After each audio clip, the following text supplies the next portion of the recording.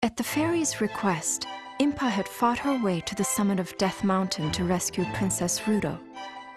There, she subdued the Goron chieftain, Darunia, who had temporarily lost his senses. Upon freeing Princess Ruto, however, Impa was shocked to learn the reason for the conflict between the Zora and Goron people. The ancient water temple was teeming with monsters that poured from the Gate of Souls. What's more, the monsters were apparently led by Princess Zelda herself.